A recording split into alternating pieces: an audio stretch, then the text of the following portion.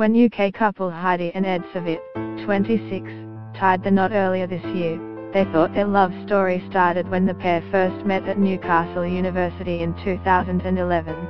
However just recently, the mother of the bride, Kay Parker discovered a family photo album that proved they actually met on a family vacation when they were six in Gumbet, Turkey.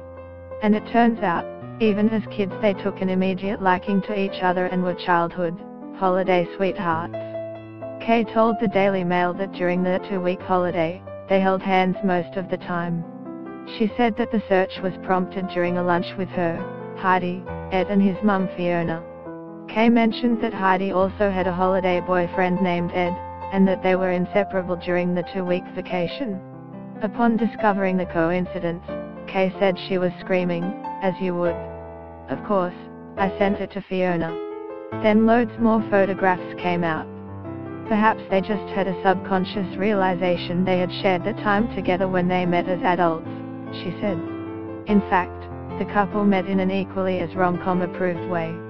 Listen, Mamamia out loud, does your relationship pass the loaf of bread test? Post continues after audio. Unable to work the tumble dryer in his new student house, Ed contacted Heidi after finding her name on some mail. The rest, as they say, was history. Reflecting on the situation, Heidi says that she takes this as a sign that clearly we're destined to be together. It's crazy to think we could have got married, shared our lives together, but then never found out about this, she said. In other words, love is real and make sure you watch out for who your child talks to in any future family holidays from here on out, because they could just wind up being your future daughter slash son-in-law. Listen, true love means always eating the crust, Team Mamamia Out Loud talk Matt Damon, to wearing a uniform every day, to whether or not you should pay for Christmas lunch and more.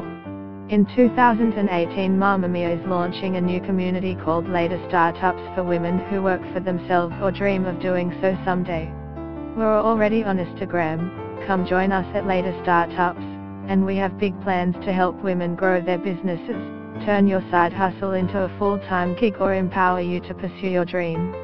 Tell us what you want and need from us by taking this 5-minute survey and register at ladystartups.com to be the first to be updated when we launch.